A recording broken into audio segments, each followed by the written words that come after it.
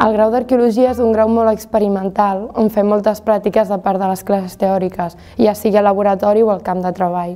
És un grau dirigit a les persones amb molt interès a la història, però que no es vulguin tancar tant a casa, sinó sortir més fora, fer treball de camp, embrutar-se. A més, també és un grau que et prepara per totes les sortides, ja sigui a nivell d'investigació, a difusió cultural o en el sector privat. L'arqueologia ens permet conèixer la història de les societats del passat a través de les restes materials i, per tant, anar més enllà de les fonts escrites.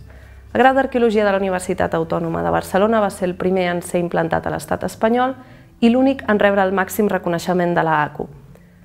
El grau té un alt contingut pràctic i els estudiants podran participar a les excavacions i fer pràctiques de laboratori on aprendran les principals tècniques d'anàlisi dels materials.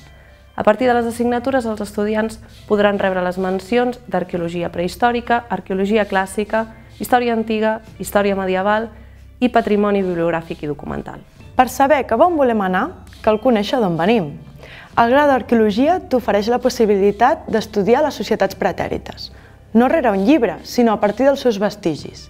Et pots especialitzar en el període que més t'atrau i s'ofereixen diferents enfocs docents. Hi ha assignatures més de caire històric i d'altres més científic, però el millor són les pràctiques de camp en jaciments reals.